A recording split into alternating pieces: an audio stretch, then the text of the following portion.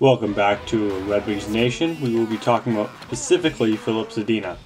I realize my last video was a little weird and hard to hear my voice, so I will cover what I stated in my new yearly player ratings that I will start doing every year after the season ends. Filip Zadina fell to us from his projected third overall to sixth overall, and it was definitely a pleasant surprise. An elite scoring forward that can single-handedly win games with his offensive ability and many are considering NHL ready this season.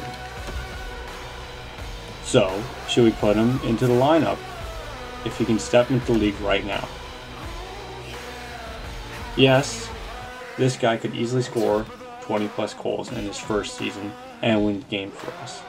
But remember, we are in a rebuild. We don't want to win games.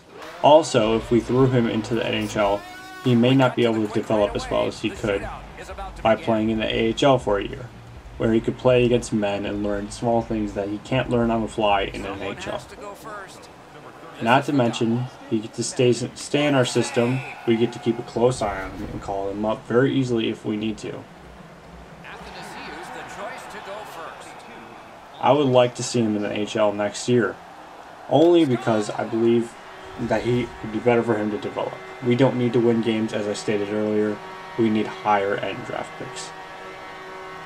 Not to mention, staying keeping him down would allow for a few more uh, roster spots for other players to show what they're worth, instead of just us only focusing on Filip Zadina.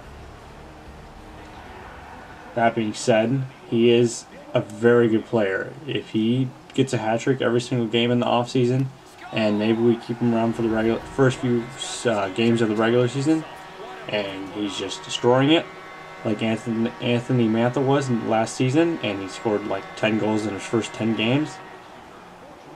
Fine, let's keep him up. If he can score more goals than Alex Ovechkin or Patrik Laine in his first season, let's keep him up. He doesn't need to learn anything in the AHL.